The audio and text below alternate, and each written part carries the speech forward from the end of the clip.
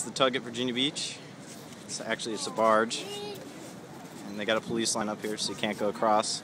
But you get an idea of how close we are. It's probably gonna take it's probably gonna take about five barges to pull that sucker out of there. It's a gigantic thing. But yep, it's not every day you get to see that. It's got uh, chlorine on it and some other hazardous materials. So they're going to need more than a couple barges to pull that out. You can see them there in the distance. There's three of them.